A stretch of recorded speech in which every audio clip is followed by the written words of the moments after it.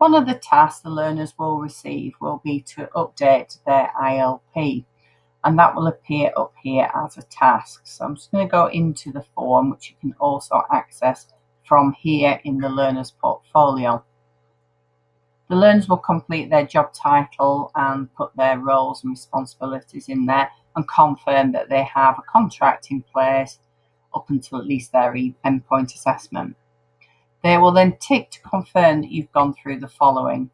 The ILP, which you'll be explaining as part of this task, the progress review meetings, which are explained in the introduction to your apprenticeship, how to access additional supportive tuition is discussed in the ILP tutor form, your responsibilities as a learner for health and safety, equality and diversity, recording off the job, safeguarding and the complaint procedure, are all within the introduction to your apprenticeship alongside OneFile access and the program and overview and endpoint assessment.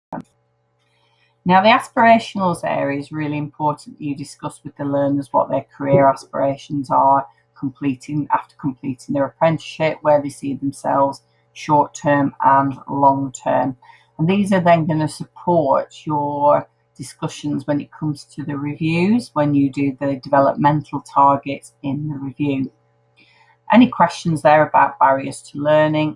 And finally, the learner will confirm that they've understood the importance of the learning journal and how it is used to reflect any learning that is carried out and recording their 20% off the job. So once the learner completes the they can save it and then that links to the overarching ILP.